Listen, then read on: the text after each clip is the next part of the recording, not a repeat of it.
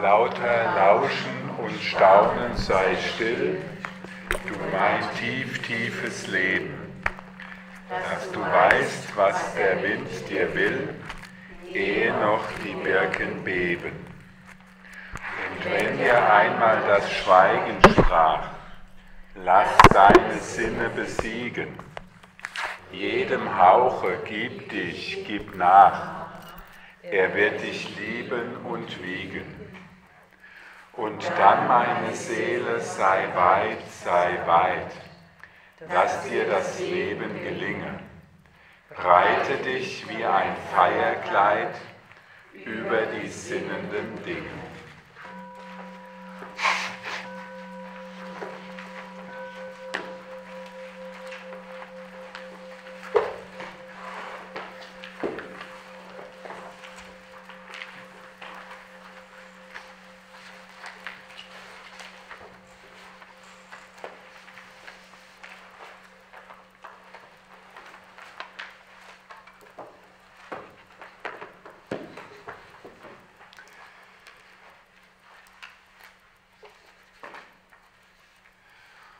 Vor lauter Lauschen und Staunen sei still, du mein tief, tiefes Leben, dass du weißt, was der Wind dir will, ehe noch die Birken beben. Das war die erste Strophe dieses Gedichtes, die gestern im Vordergrund stand.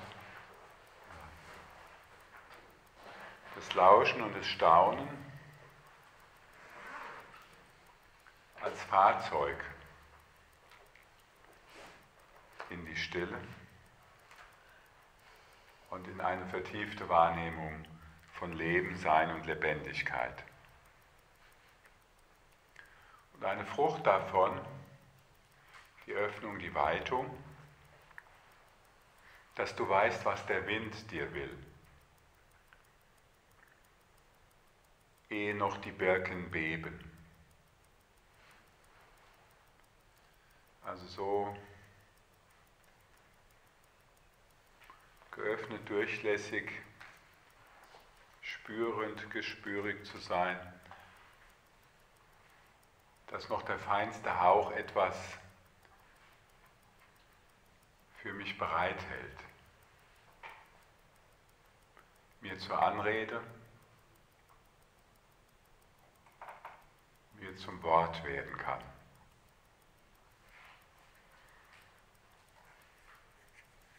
Und er führt das im Grunde äh, weiter aus. Und wenn dir einmal das Schweigen sprach, lass deine Sinne besiegen. Jedem Hauche gib dich, gib nach. Er wird dich lieben und wiegen.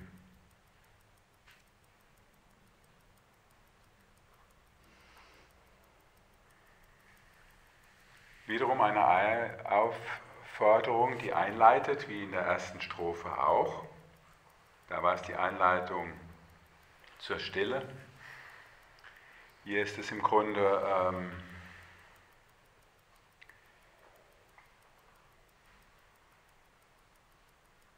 die Einladung zur Hingabe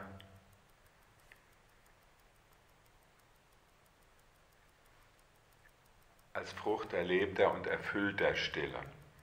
Und wenn dir einmal das Schweigen sprach, es gibt eine Ebene der äußeren Vernunft, auf der ist das mindestens paradox oder unsinnig. Auf der ist das Schweigen das Gegenteil von Sprache und Reden. Das ist gerade die Abwesenheit. Aber, und wenn dir einmal das Schweigen sprach, also wenn dir die Stille beredt wurde,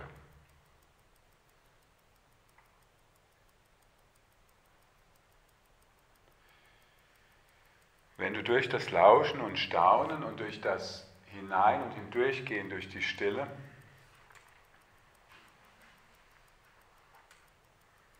so aufgeschlossen bist dass auch die Stille und, die, und das Schweigen zu sprechen beginnt.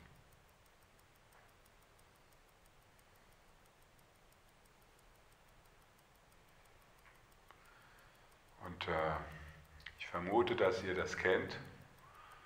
Warum solltet ihr sonst schon wieder hier sein?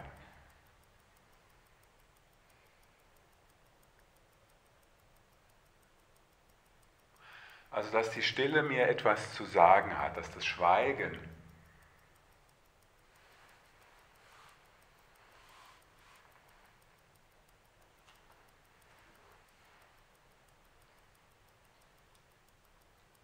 mich lauschiger und hörfähiger macht.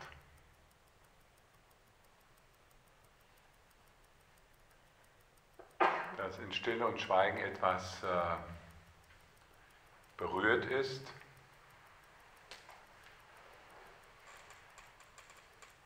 Ansprache wird, eine Ahnung, einen Geschmack gibt, einen Weg geleitet und auch die Anzeige einer Wegrichtung.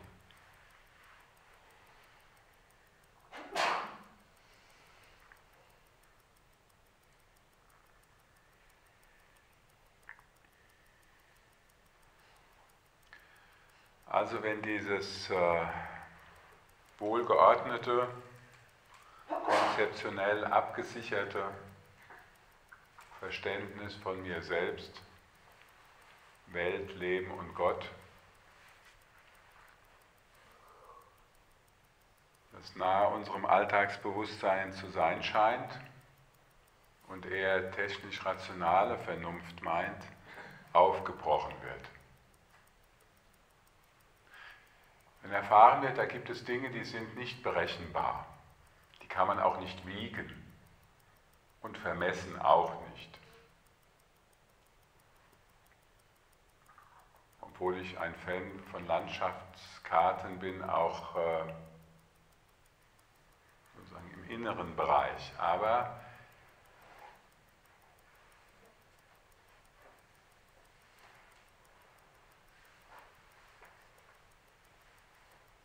dass mir das Schweigen spricht.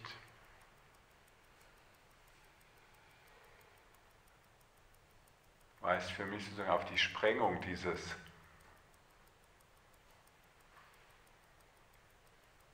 konzeptionellen, einordnenbaren hin.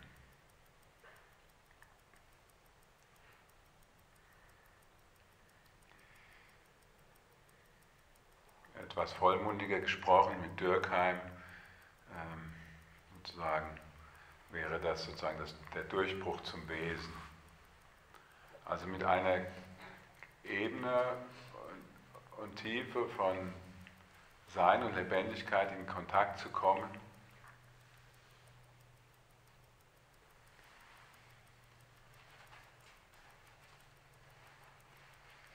die diese B und verrechenbare und damit auch verlässliche, scheinbar verlässliche äußere Welt aufsprengt.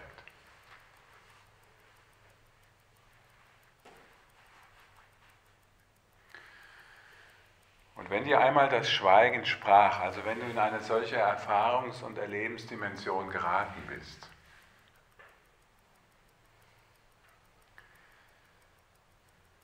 Dann lass deine Sinne besiegen.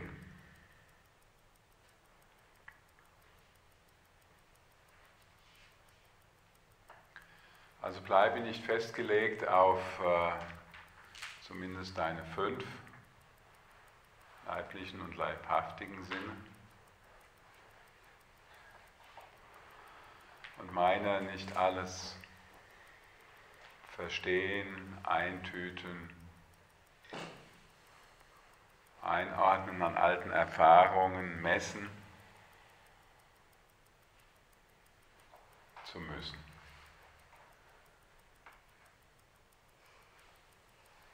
Und dann taucht etwas auf, was wir umgangssprachlich ja auch unter Sinn kennen.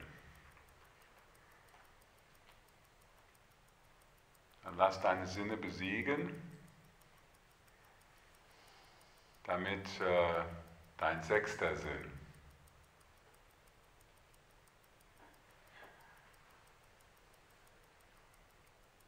Auftauchen und vermutlich sogar die Wegführung übernehmen kann.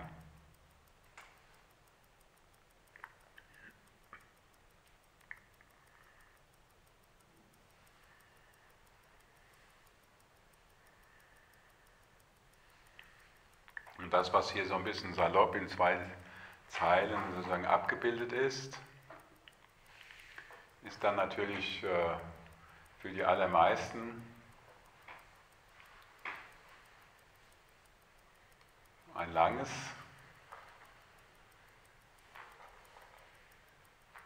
und manchmal auch ein elendlanges äh, Ringen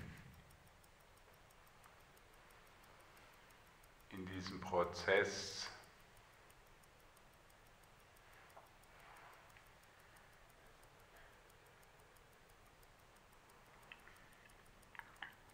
Worauf will ich vertrauen? Worauf kann ich mich verlassen?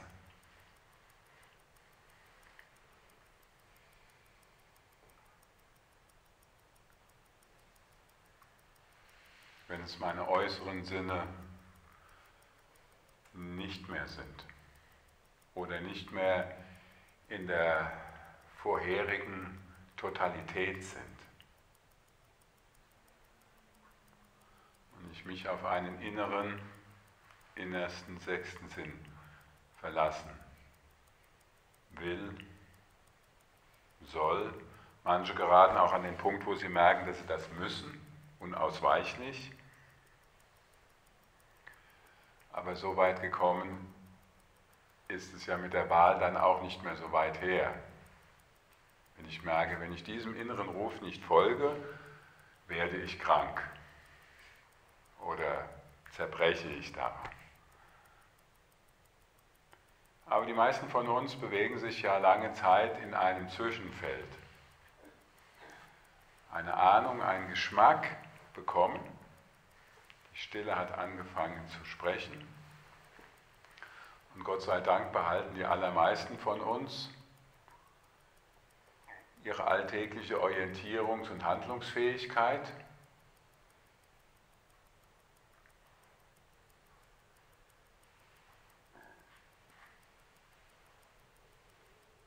Und geraten nur immer mal wieder sozusagen in Kontakt mit einem Anruf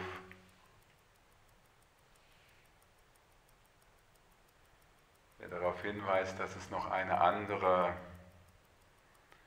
Lebensoption und Gestaltungsmöglichkeit geben könnte.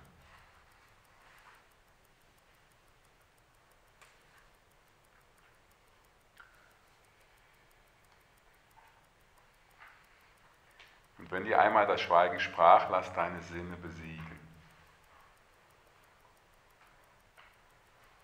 Dann orientiere dich um dem ursprünglichen Leitsystem auf ein neues, sich sehr langsam in der Stille herausbildendes.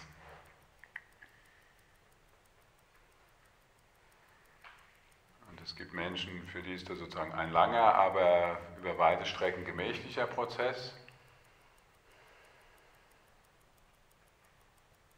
Sagen wir Umorientierung. Und es gibt Menschen auf dem Weg, für die bekommt das eine relativ hohe Dramatik, weil sie an einen Punkt geraten, wo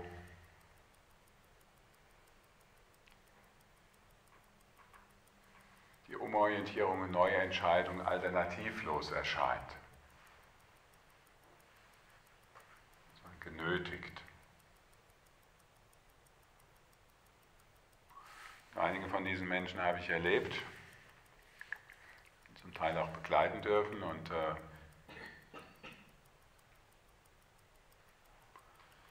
habe auch äh, eine große Hochachtung vor Ihnen, Sie irgendwie im doch fortgeschrittenen Alter sagen, das muss nochmal anders werden und sich zum Beispiel beruflich nochmal ziemlich neu orientieren. Jetzt nicht mit 25 oder 30, sondern vielleicht mit Mitte 50, wo irgendwie ein halbes Auge schon zum Ruhestand ging.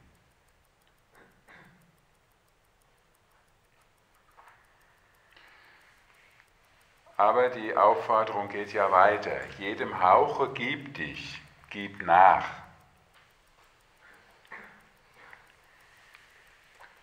Also leiste den Bewegungen des Lebens keinen Widerstand.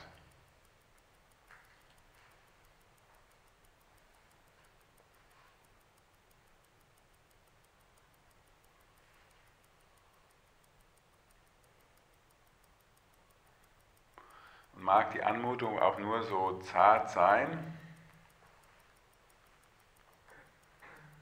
nimm sie ernst und wahr.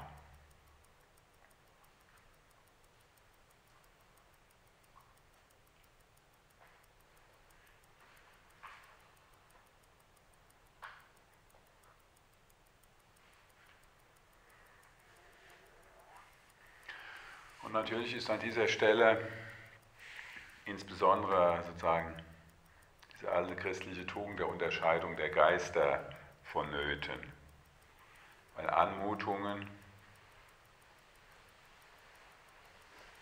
und Hauche gibt es viele. Und äh,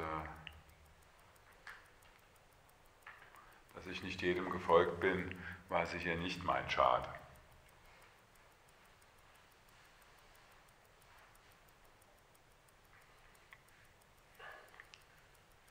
Bleibt sozusagen die Klärung, ähm,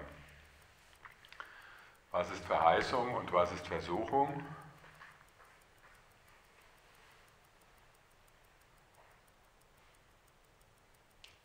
Und es bleibt bei dieser empfänglichen, spürfähigen Grundhaltung, die ja schon in der ersten Strophe ehe noch die Birken beben.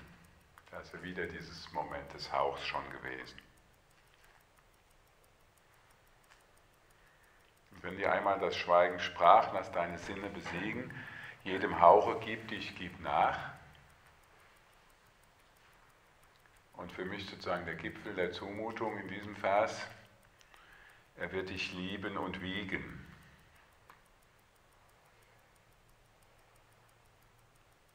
Und äh, ich kenne den Widerspruch und den Widerstand im Blick auf meine eigene Lebensgeschichte und im Blick auf äh, die Geschichte von Menschen, die mir die ihre anvertraut haben.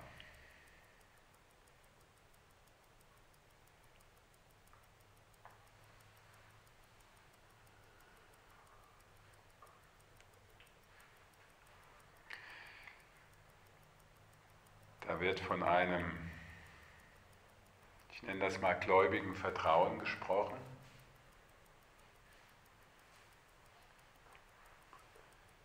Das Frucht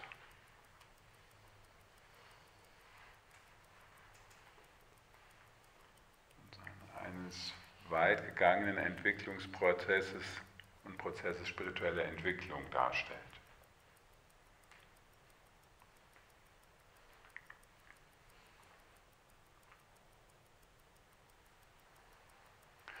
Und das voraussetzt, dass, ich mit den lebensgeschichtlich erworbenen Verletzungen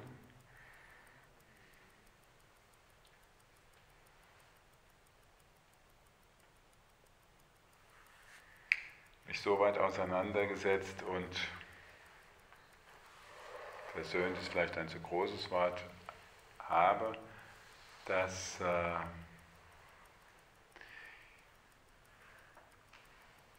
sie mir nicht bei jeder neuen Lebensbewegung sozusagen wieder auf den Plan treten.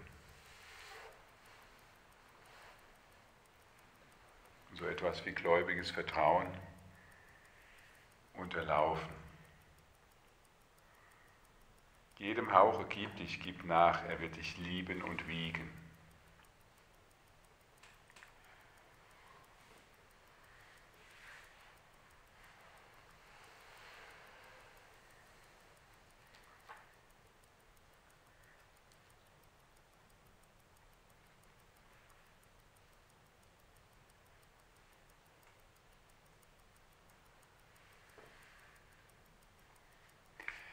Dahin zu kommen,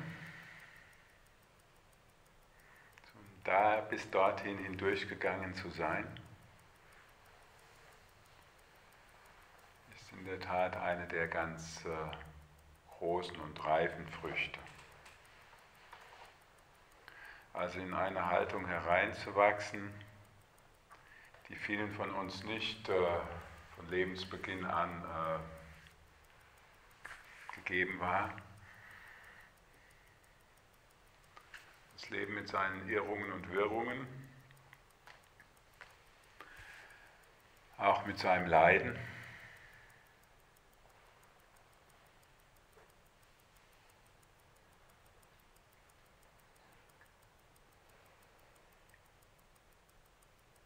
Gleichwohl als wohlwollend, freundlich, gütig zu erleben.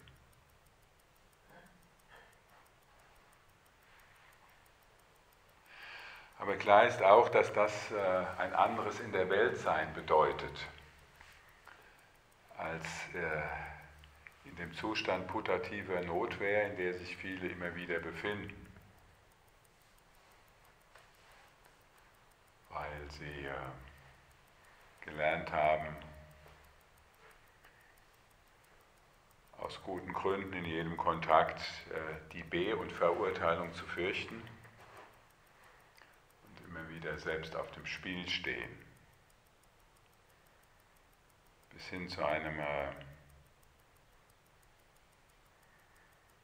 gläubigen Vertrauen.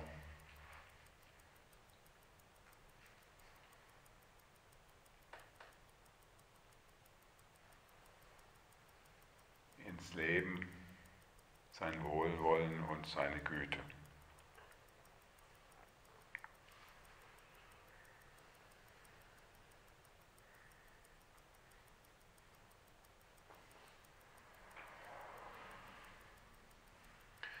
Aber vermutlich wird sich an der Stelle sehr viel entscheiden, wie unsere Wege gehen.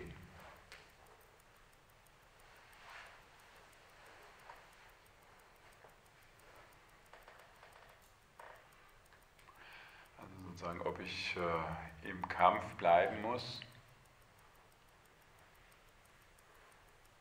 gegen das, was sich äh, unabwendbar vollziehen wird.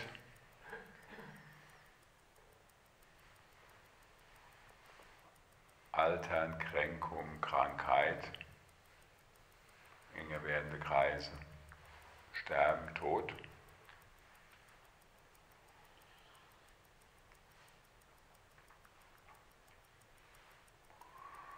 Oder ob ich in einem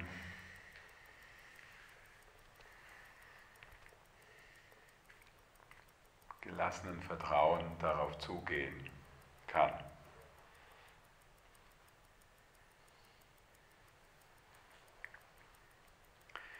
Ich hatte ja eine, einen Satz von äh, dem Bruder David, Steindl Rast sozusagen, während meiner Krankheit sehr beschäftigt. Und ich habe bei meiner Abschiedspredigt mit darüber gesprochen. Ähm, auch sozusagen so eine Spitzensatz, den man bestenfalls äh, sich selbst aneignen kann, aber schlecht jemand auf den Kopf zusagen kann. Aber der sagt und schreibt relativ vollmundig, meinen Glauben beweise ich nicht, indem ich um das bitte, was ich brauche. Klammer vertrauensvoll, Klammer zu, sondern indem ich darauf vertraue, dass ich brauche, was ich erhalte.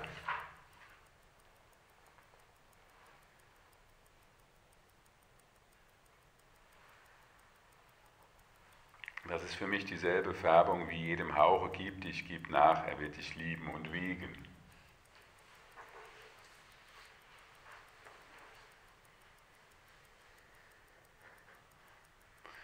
Und klingt durchaus ganz nett, auch, aber ähm, ich habe schwer damit gerungen mit dieser Frage, ähm, wozu brauche ich meinen Krebs? Und diesen blöden Schlaganfall. Ist ja irgendwie auch, also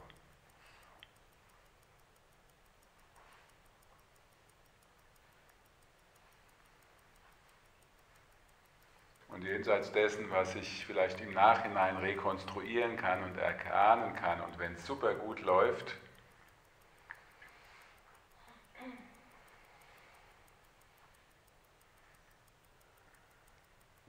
im Rückblick, wenn es mir denn gelingt, äh, sozusagen den Weg so zu gehen, womöglich erkennen kann, was ich dem auch verdanke.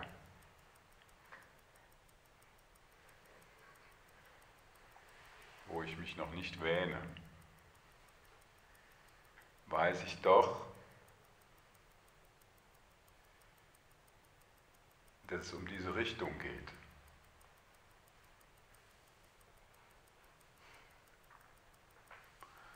Dieses Hineinwachsen in ein gläubiges Vertrauen, das unbedingt ist, das nicht abhängig ist von äh, den, den raumzeitlichen Bedingtheiten.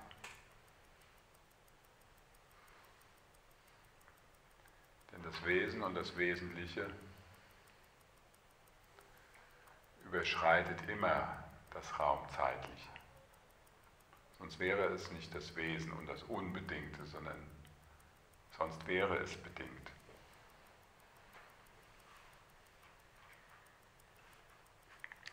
Und dann ganz am Anfang bin kein großer Gedichte-Fan im Grunde, weil vieles verstehe ich immer nicht.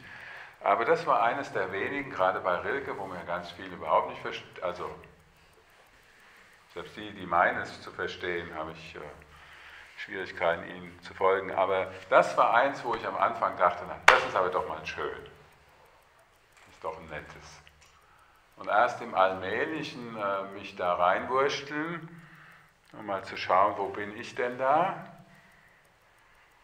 Ich finde es immer noch schön und grandios, aber äh, nicht schön in einem oberflächlichen ästhetischen Sinn, sondern in sehr ganzheitlichen und auch schwer.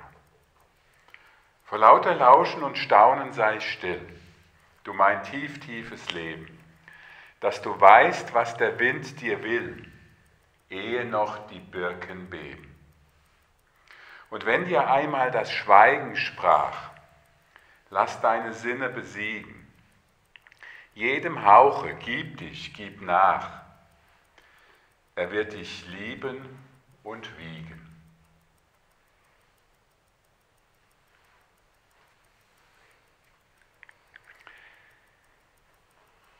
geht noch eine Runde weiter, aber die dritte Strophe ist im morgigen Vortrag vorbehalten. Aber im Grunde, finde ich, beschreibt er, ohne das zu wollen, sozusagen die Praxis der Stille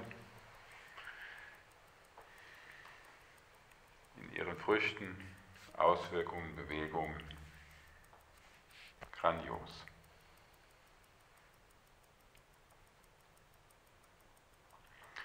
Und so wünsche ich dir, mir, uns,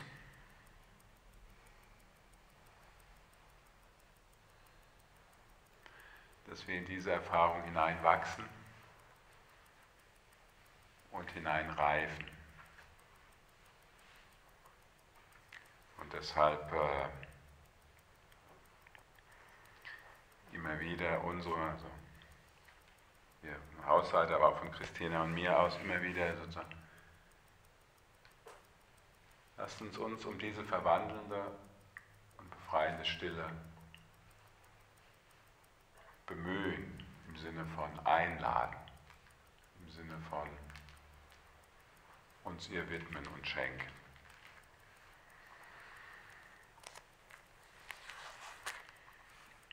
Abschließen möchte ich gerne mit dem neuen Text der 121.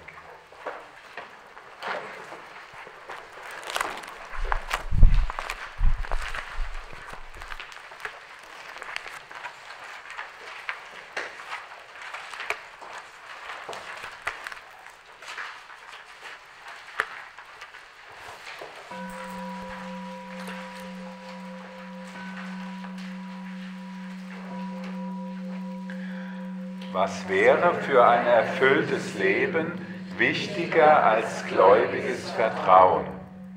Je bewusster wir leben, umso klarer erkennen wir, was für ein unfassbares Geschenk es ist, lebendig zu sein. Diese Einsicht löst mit jedem Atemzug tiefe Dankbarkeit aus und öffnet dadurch unser Herz für immer größere Lebensfreude. Meinen Glauben beweise ich nicht, indem ich um das bitte, was ich brauche, sondern indem ich darauf vertraue, dass ich brauche, was ich erhalte.